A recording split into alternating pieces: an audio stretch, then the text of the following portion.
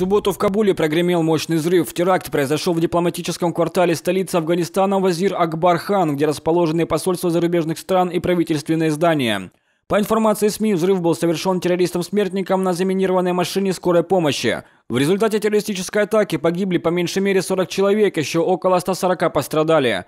Ответственность за теракт, по данным агентства Пажвок, взяла на себя экстремистская группировка «Талибан».